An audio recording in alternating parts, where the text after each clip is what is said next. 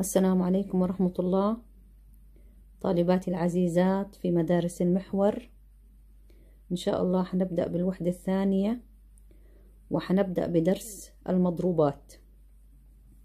كما تلاحظنا يرمز للمضروبات بنون مضروب أو مضروب النون حيث مضروب النون هو عبارة عن نون ضرب مضروب النون ناقص واحد. أو نون في نون ناقص واحد في نون ناقص اثنين مضروب. أو نون في نون ناقص واحد في نون ناقص اثنين وهكذا حتى نصل الواحد. لنفهم ذلك نبدأ بمثال واحد. مثال واحد هو خارجي وغير موجود بالدوسية. وهو جد قيمة ما يلي. خمسة مضروب.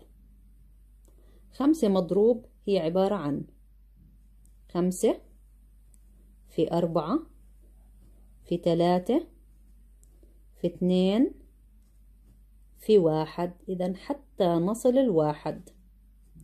وعند إجراء الضرب خمسة في أربعة عشرين عشرين في ثلاثة ستين ستين في اثنين مية وعشرين مية وعشرين في واحد يصبح الناتج مية وعشرين. ثلاثة مضروب.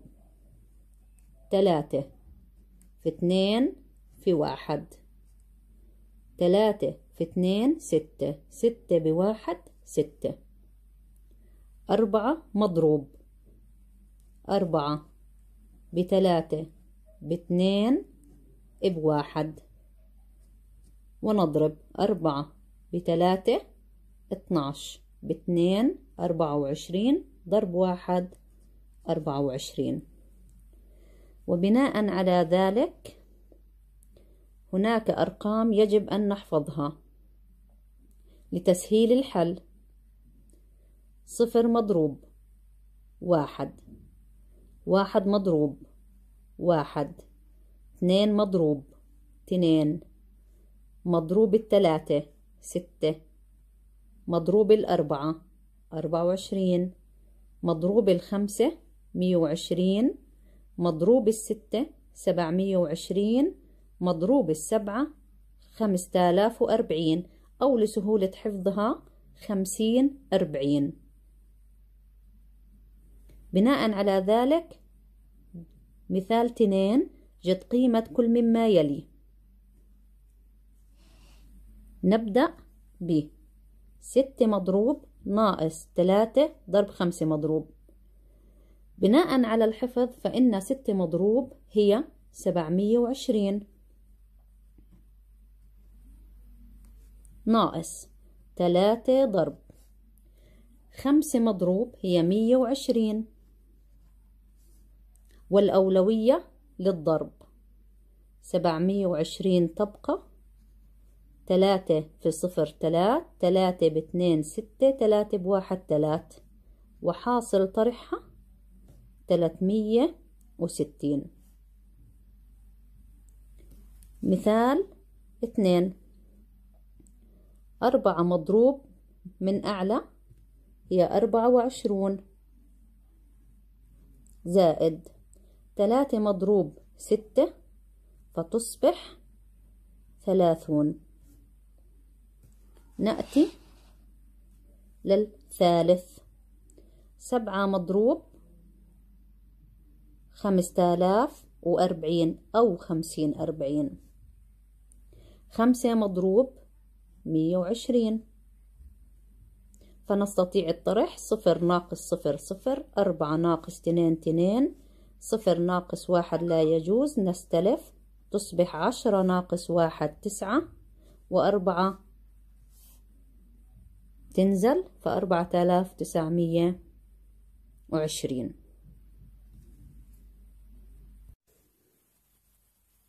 أما الآن نأتي لمثال تنين من الدوسية. مثال تنين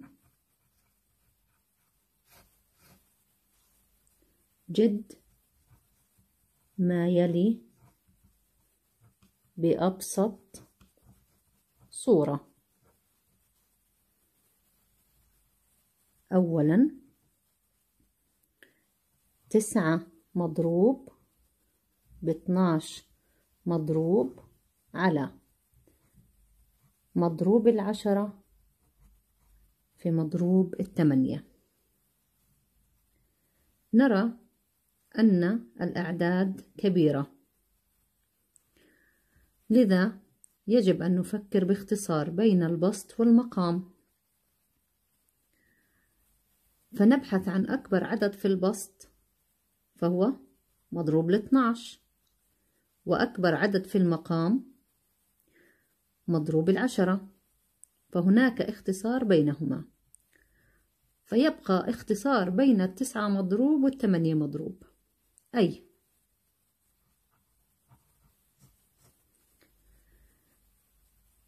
لو بدأنا بفك التسعة كونها الأكبر من الثمانية تصبح تسعة في ثمانية مضروب. على. ثمانية مضروب فنستطيع اختصارها. ومن بين الاثناش والعشرة الاثناش أكبر. فنبدأ بالاثناش هي اثناش بإحداش بعشرة. مضروب. مع عشرة. مضروب. نستطيع الاختصار. فيبقى تسعة في اتناش في حداش. وفي حال ضربناها يصبح العدد ألف ومية. وثمانية وثمانين لتأكيد الفكرة نأخذ مثال تنين مثال تنين هو 12 مضروب على تسعة مضروب ضرب ثلاثة مضروب. لنلاحظ أن البسط عبارة عن حد والمقام حدان لكن الأقرب إلى البسط هو التسعة مضروب. فنبدأ بالاثناش هي اثناش في حداش. بعشرة. بتسعة مضروب. بدأنا بالنزول حتى وصلنا إلى التسعة. لنستطيع اختصارها من المقام. لكن الثلاثة مضروب هي ستة.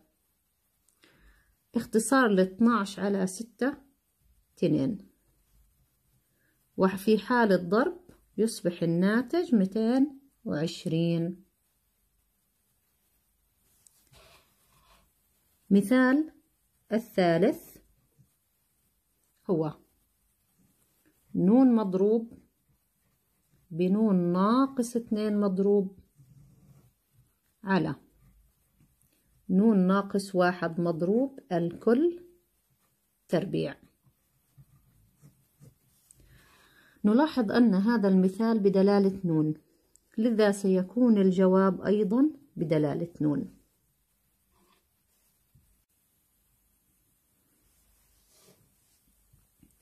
نلاحظ أن المقام عبارة عن مربع كامل. لذا يمكن كتابته بهذه الصورة.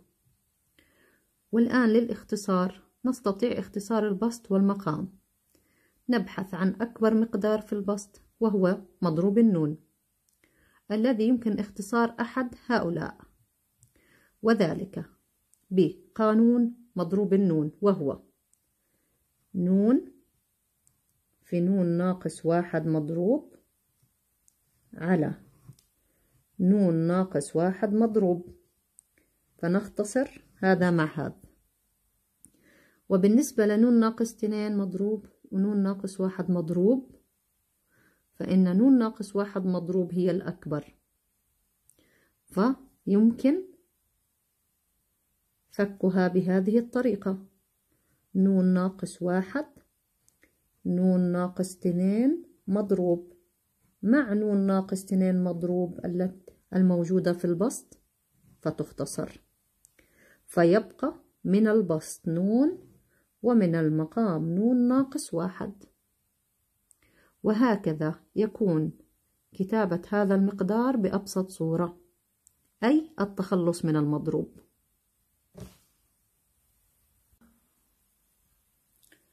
أما المثال الخامس فهو تلاتة في نون مضروب زائد تلاتة مضروب تساوي تلاتمية وستة وستين.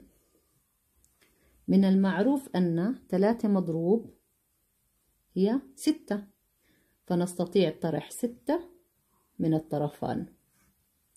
فيبقى تلاتة في نون مضروب تساوي تلاتمية وستين. وبالقسمة على ثلاث ينتج أن نون مضروب تساوي مية وعشرين. العدد الذي مضروبه مية وعشرين هو عبارة عن خمسة مضروب. مضروب مع مضروب ينتج أن نون تساوي خمسة. والمثال السادس والأخير هو نون مضروب. بنون ناقص اثنين مضروب على نون ناقص واحد مضروب. بنون ناقص ثلاثة مضروب تساوي خمستاش. نرجع لمفهوم الاختصار. حيث أن الحد الأكبر في البسط هو نون مضروب والأكبر في المقام هو نون ناقص واحد. فنلاحظ أن لو بدأنا بنون مضروب هي عبارة عن نون. في نون ناقص واحد مضروب. وبالنسبة للمقام نون ناقص واحد مضروب تختصر.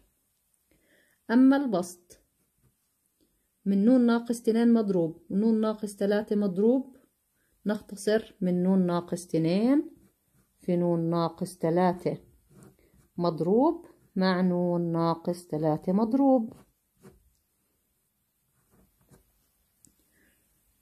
تبقى في البسط نون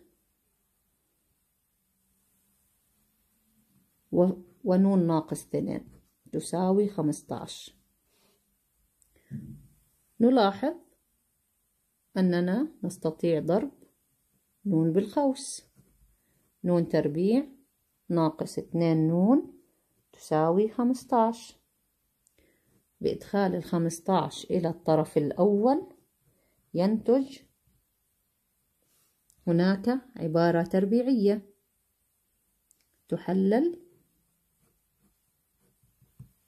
نون. نون. ناقص. سالب في سالب موجب. عددان ضربهما خمستاش وطرحهما اثنان. خمسة وثلاث. إما نون تساوي خمسة تقبل أو نون تساوي سالب ثلاث تهمل لماذا؟ لأن نون أكبر من صفر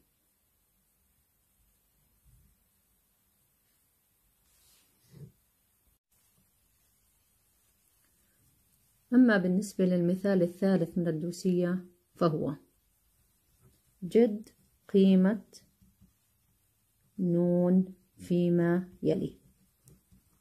طبعا بما أن المطلوب جد قيمة نون فيما يلي إذا هذا يعتمد على الحفظ. مثال رقم واحد. نون ناقص اثنين مضروب تساوي مية وعشرين. تذكر أن المية وعشرين هي مضروب الخمسة. إذا نستطيع كتابة نون ناقص اثنين مضروب عبارة عن خمسة مضروب. إذا مضروب مع مضروب فيبقى نون ناقص اثنين تساوي خمسة تحل المعادلة بزائد اثنين على الطرفان فتصبح نون تساوي سبعة. إذا هذه قيمة نون للمثال الأول. مثال رقم اثنين. نون مضروب. ناقص. أربعة مضروب. تساوي ستمية وستة وتسعين. نلاحظ أن بهذا الطرف أربعة مضروب من القيم التي نعرف إجابتها حيث أربعة مضروب أربعة وعشرين تساوي ستمية وستة وتسعين. بجمع أربعة وعشرين للطرفان ينتج أن نون مضروب تساوي سبعمية وعشرين. ونحن نعلم أن سبعمية وعشرين هي عبارة عن مضروب الستة. مضروب مع مضروب إذا نون تساوي ستة. هذا المثال الثاني. بالنسبة للمثال الثالث. نون في نون ناقص واحد مضروب يساوي أربعة وعشرين. نعلم أن نون في نون ناقص واحد مضروب هي أصل نون مضروب تساوي أربعة وعشرين. وأن الأربعة وعشرين هي عبارة عن أربعة مضروب. مضروب مع مضروب فتصبح نون تساوي أربعة. بالنسبة للمثال الرابع اثنين نون مضروب تساوي سبعمية وعشرين. معروف أن السبعمية وعشرين هي ستة مضروب. مضروب مع مضروب. اثنين نون تساوي ستة. فنون تساوي ثلاث. وذلك بالقسمة على اثنين.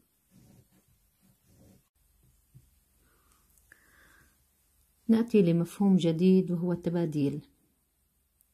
التباديل هو قانون يستخدم لحساب احتمال وقوع حدث ما ضمن مجموعة من الأحداث حيث يتم الاهتمام بترتيب المجموعة. ويرمز له بتباديل را مأخوذة من نون حيث يشترط على نون أن تكون أكبر أو تساوي را. من هي نون؟ هي عدد العناصر الكلية. را عدد الحدود المأخوذة من نون. قانونها تباديل را مأخوذة من نون يساوي نون مضروب على نون ناقص را مضروب أو قانون آخر ويفضل استخدامه هو. تباديل نون فاصل را يساوي نون في نون ناقص واحد في نون ناقص اثنين ضرب وهكذا حتى نصل إلى نون ناقص را زائد واحد. يكون عددها را مرة يعني حسب را الموجودة بالقانون. بناء على هذا الحكي نبدأ بمثال رقم واحد. مثال رقم واحد جد قيمة كل مما يلي. تباديل اثنين مأخوذة من خمسة. أي؟ انزل بالخمسة حدان.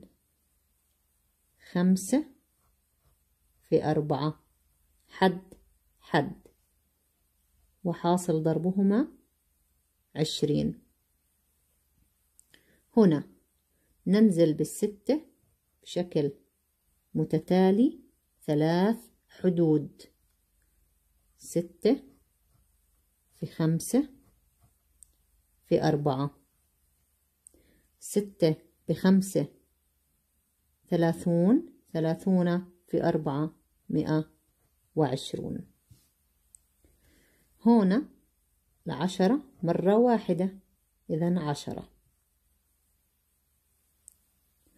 ويمكن حل الأمثلة السابقة على القانون الأول أي لو استخدمنا القانون الأول لإيجاد تباديل خمسة اثنين.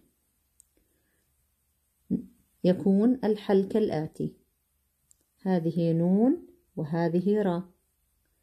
نون مضروب أي خمسة مضروب. على نون ناقص را مضروب على خمسة ناقص اثنان مضروب. أي. خمسة مضروب على ثلاثة مضروب. فينتج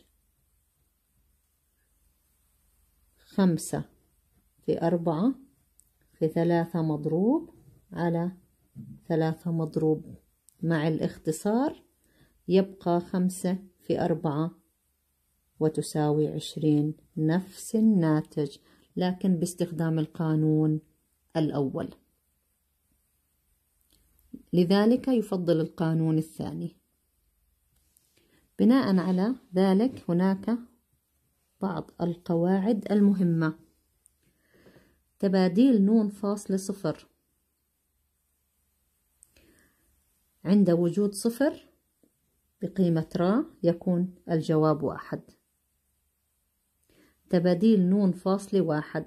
عند وجود واحد بقيمة را يكون الجواب نون نفسه. تباديل نون فاصل نون. عندما تتساوى نون مع را يكون الجواب نون مضروب. وعندما يكون را أقل من نون بواحد أيضا يبقى الجواب نون مضروب.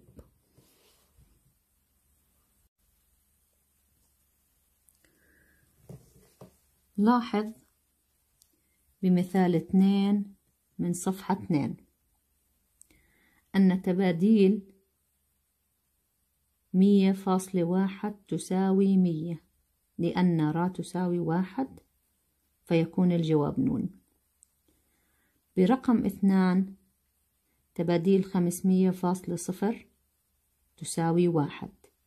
لأن را تساوي صفر.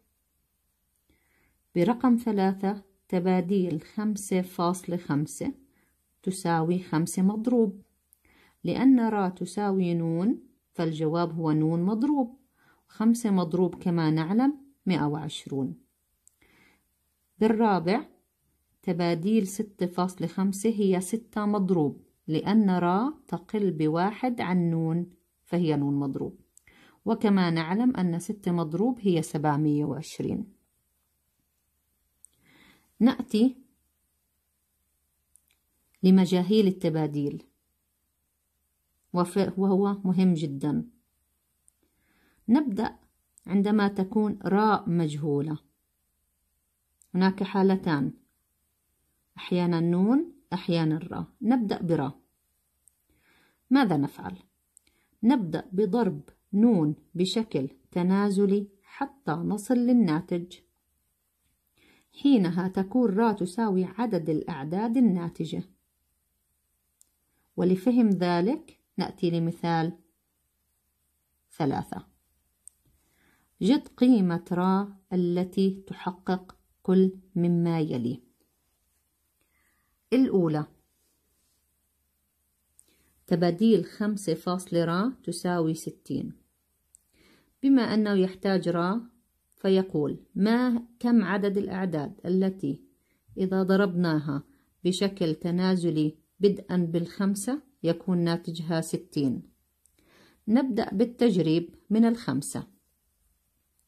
خمسة ضرب أربعة بشكل تنازلي. خمسة ضرب أربعة عشرين لم تعطي الستين. إذا نزيد عليها. أي خمسة ضرب أربعة ضرب ثلاثة. خمسة ضرب أربعة عشرين. عشرين ضرب ثلاثة ستين. أعطت الستين. تكون راح عبارة عن عددها. واحد اثنين ثلاثة. إذا را تساوي ثلاثة. هكذا أوجدنا را. بالمثال الثاني نفس المبدأ. عدد الأعداد التي حاصل ضربها بشكل تنازلي يعطي 360 بدءا بالستة. نبدأ ستة بخمسة. ستة بخمسة ثلاثين. لم تعطي. ستة بخمسة بأربعة. ستة بخمسة تلاتين بأربعة مية وعشرين. لم تعطي. ستة بخمسة بأربعة بتلاتة هنا مئة وعشرون في ثلاثة ثلاثمائة وستون. أعطت الناتج. في هذه الحال واحد اثنين ثلاثة أربعة. إذا را تساوي أربعة. المثال الثالث هو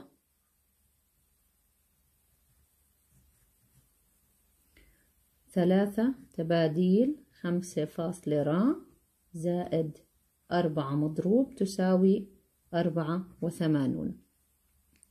من المعروف أن أربعة مضروب هي أربعة وعشرون. هكذا هي معادلة تحل بطرح أربعة وعشرين من الطرفان. فيصبح تباد ثلاثة تباديل خمسة را هي ستون. على ثلاث على ثلاث. فتباديل خمسة فاصلة را هي عشرون. نبدأ بالخمسة. خمسة ضرب أربعة تساوي عشرين. أعطت الناتج. إذا الرا تساوي عددهم. فرا تساوي اثنان. بالنسبة للمثال الرابع اثنين تباديل أربعة فاصلة را. ناقص تباديل ثلاثة فاصلة واحد تساوي خمسة وأربعون. فاثنين تباديل أربعة فاصلة را. كما هي؟ لأن تباديل ثلاثة فاصلة واحد بناء على قاعدة بما أنه را واحد فيكون الناتج نون نفسه تساوي خمسة وأربعين. بجمع ثلاث للطرفان. تصبح اثنين تباديل أربعة فاصلة را تساوي ثمان وأربعون. بالقسمة على اثنان يصبح تباديل أربعة فاصلة را عبارة عن أربعة تقسيم اثنان اثنان ثمانية تقسيم اثنان أربعة. نبدأ بالضرب بشكل تنازلي. أربعة في ثلاث اثناش. لم تعطي الناتج. أربعة في ثلاث في اثنان أربعة وعشرون. أعطت الناتج. إذا را تساوي ثلاث. لكن نلاحظ في هذا المثال أن العدد انتهى عند اثنان. إذا يمكن إضافة الواحد لأنه عدد محايد. لا يؤثر على عملية الضرب ويكون أيضا الناتج أربعة وعشرون. إذا يوجد راء أخرى وهي أربعة. فإما را تكون ثلاثة أو را تكون أربعة. هذه الحالة تستخدم عندما تكون نهاية الأعداد هي اثنان فقط. لأن العدد الذي يأتي قبلها هو الواحد.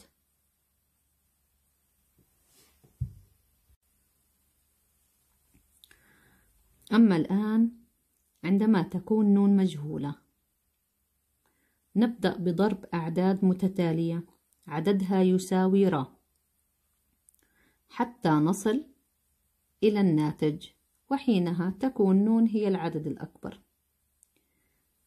لمعرفة ذلك نأتي إلى المثال. جد قيمة نون التي تحقق كل مما يلي. الأولى تباديل نون فاصلة ثلاث تساوي ستين. ما هي الأعداد المتتالية التي عددها ثلاث ويكون حاصل ضربها ستين؟ لنجرب. نبدأ من الواحد. واحد ضرب اثنين ضرب ثلاث. حاصل ضرب واحد في اثنين في ثلاثة ستة. لم تعطي ستين. نبدأ بالزيادة بواحد لكل حد يعني اثنان بثلاثة بأربعة. ستة بأربعة أربعة وعشرين لم تعطي. نبدأ بالزيادة مرة أخرى ثلاثة. بأربعة بخمسة. ثلاثة في أربعة اثنا عشر ضرب خمسة ستون. أعطت الناتج. العدد الأكبر بينهما هو نون. إذا نون تساوي خمسة. نأتي إلى مثال الثاني. تباديل نون فاصل اثنين تساوي تسعين. نحتاج عددان متتاليان حاصل ضربهما تسعين. لو بدأنا بالواحد واحد ضرب اثنين عدد يعطيني اثنين لا يعطي تسعين. اثنين ضرب ثلاثة ستة لا يعطي تسعين. وهكذا. حتى نصل إلى تسعة ضرب عشرة تساوي تسعين. ونون هو العدد الأكبر إذا نون تساوي عشرة. بعض القيم بديهيا نستطيع معرفتها. كونه را تساوي اثنان فنحتاج عددان متتاليان حاصل ضربهما تسعين. عددان متتاليان حاصل ضربهما تسعين. تسعة في عشرة. لو أعطى خارجي. جد نون بحيث. أن تباديل نون فاصل اثنين تساوي ثلاثين. إذا نحتاج عددان. متتاليان حاصل ضربهما ثلاثين. من المعروف أن ستة ضرب خمسة تساوي ثلاثون. إذا نون تساوي ستة. لكن في حال كانت ثلاث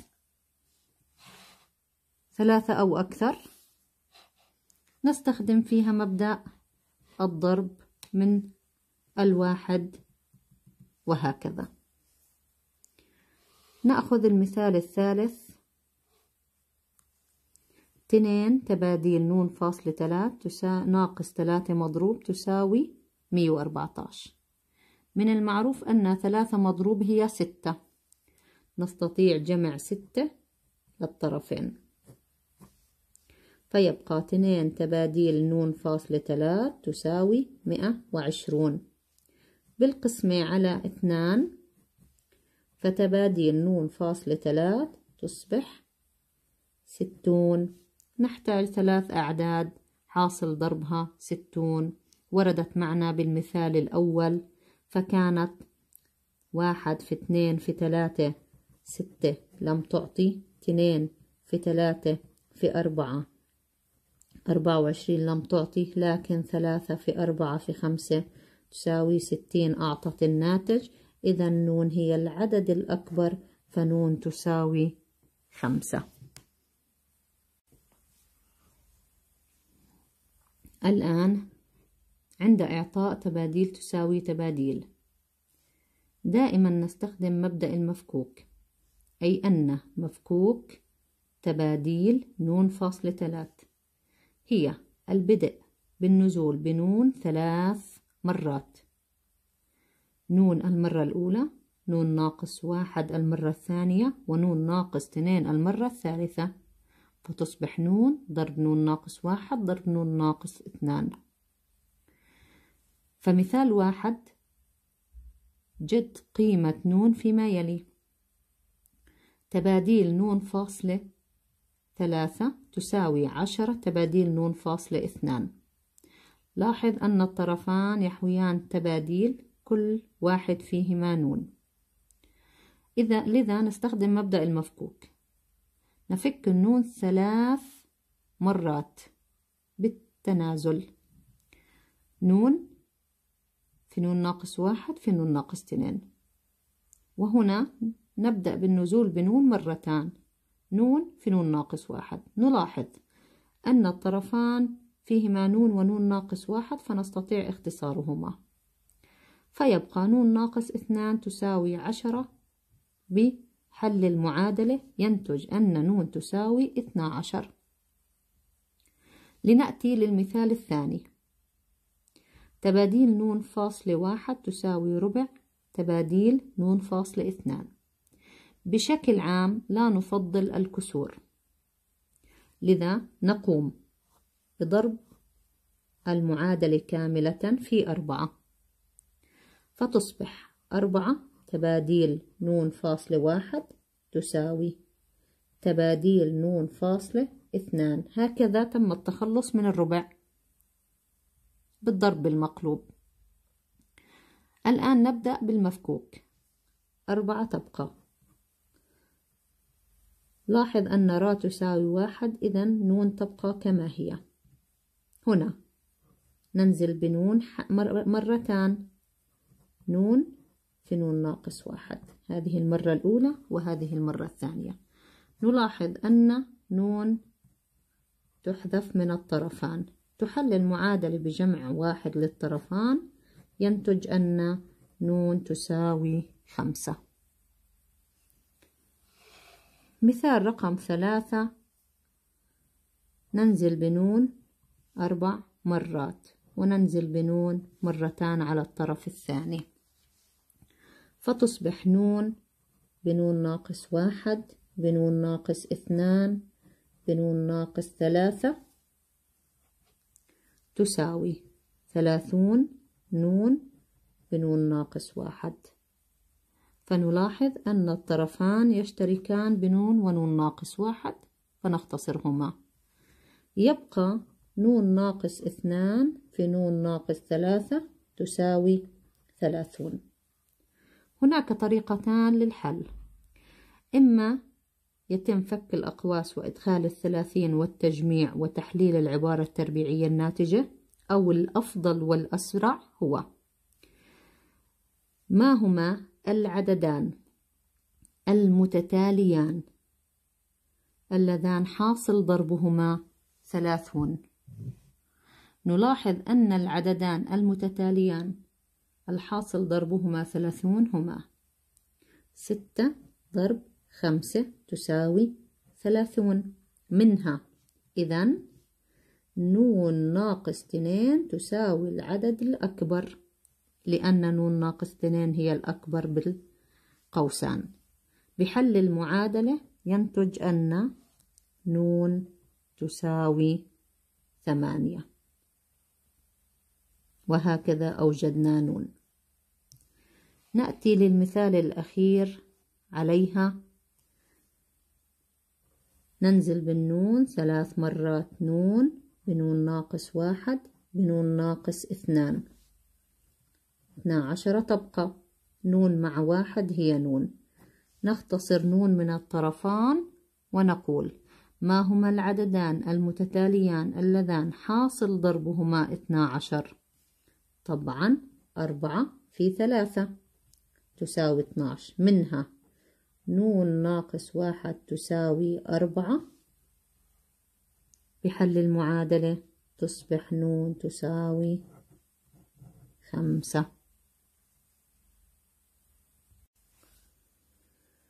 أما الآن نأتي لمفهوم آخر وهو التوافيق وهو أيضا قانون يستخدم لحساب احتمال وقوع حدث ما ضمن مجموعة من الأحداث لكن لا يتم الاهتمام بالترتيب فيها.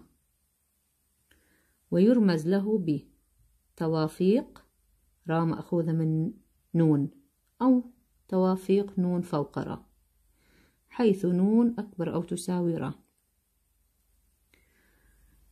قانونها نون فوق را هو نون مضروب على نون ناقص را مضروب في را مضروب أو القانون الآخر ويفضل استخدامه أكثر نون فوق را هو تباديل نون فاصل را على را مضروب. بناء على ذلك هناك قواعد مهمة. القاعدة الأولى أن توافيق نون فوق صفر. إن كانت را تساوي صفر فالجواب واحد. القاعدة الثانية نون فوق نون. إن تساوت نون ورا فالجواب أيضا واحد. القاعدة الثالثة إذا كانت را تساوي واحد أي نون فوق واحد فإن الجواب نون نفسه.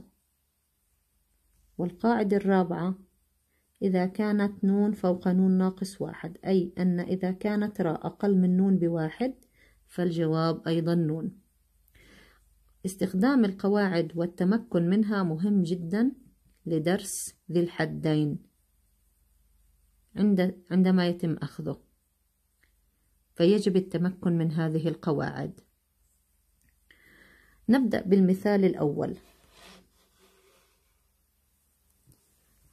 جد قيمة ما يلي. سبعة فوق ثلاث. سيتم حلها بناء على القانونين ونرى أن الثاني هو الأفضل. بالنسبة للقانون الأول ستكون. نون مضروب أي سبعة مضروب. على نون ناقص را مضروب على سبعة ناقص ثلاثة مضروب. برا مضروب وهي ثلاثة مضروب. وستكون سبعة مضروب تبقى طرحهم أربعة مضروب في ثلاثة مضروب.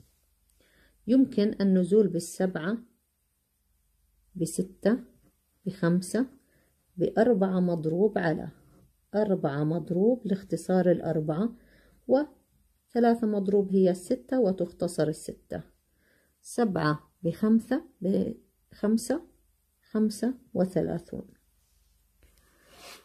القانون الآخر. لو أخذنا توافيق سبعة فوق ثلاث هي تباديل سبعة فاصلة ثلاث على ثلاث مضروب. ننزل بالستة بالسبعة ثلاث مرات. سبعة بستة بخمسة. ثلاثة مضروب هي الستة ستة مع ستة تختصر سبعة بخمسة خمسة وثلاثون. نلاحظ أن القانون الثاني تطبيقه أسهل فيفضل البقاء عليه. أما المثال الثاني فيريد توافيق ثمانية فوق اثنان. بناء على القانون الثاني يكون هو تباديل ثمانية فاصلة اثنان على اثنان مضروب. أي ثمانية ضرب سبعة حدان على اثنان مع اختصار الثمانية والإثنان يصبح الجواب ثمانية وعشرون. بالنسبة لرقم ثلاثة نلاحظ بناء على القاعدة إذا تساوت نون مع را يكون الجواب واحد. أربعة بما أن را تساوي واحد فإن الجواب نون نفسها. خمسة بما أن الجواب صفر فإن الجواب واحد. آه، أعتذر. بما أن را تساوي صفر فإن الجواب يساوي واحد. ثلاثة وأربعة وخمسة بناء على القواعد تم تطبيقها. لو ضفنا السادسة ووضعنا ستة فوق خمسة. نلاحظ أن را أقل من نون بواحد فيكون الجواب نون نفسها. نأتي للمثال الثاني. إذا كان تباديل نون إذا كان توافيق نون فوق ثلاثة تساوي خمسة وثلاثين. جد تباديل نون فاصلة ثلاثة. ثم جد قيمة نون. نلاحظ أن بما أن التوافيق نون فوق ثلاثة تساوي خمسة وثلاثون. من قانون التوافيق نلاحظ أنه تباديل نون فاصلة ثلاثة على ثلاثة مضروب تساوي خمسة وثلاثون. بالضرب التبادلي يصبح تباديل نون فاصلة ثلاثة هي خمسة وثلاثين في ثلاثة مضروب اللي هي ستة. ففي حال تم ضربها يصبح الناتج مئتان وعشرة. هكذا يكون الفرع الأول قد تم حله. لإيجاد قيمة نون نعود كما تعلمنا في مجاهيل التباديل. نون مجهولة. إذا نحتاج ثلاث أعداد متتالية حاصل ضربها مئتان وعشرة. فلو بدأنا بالواحد باثنين بثلاث تعطي ستة. اثنين في ثلاثة في أربعة أربعة وعشرين لم تعطي الناتج. ثلاثة في أربعة في خمسة ستين. أربعة في خمسة في ستة مية وعشرين لم نصل للناتج. خمسة بستة بسبعة ميتين وعشرة وصلنا للناتج. حينها تكون نون هي العدد الأكبر فنون تساوي سبعة.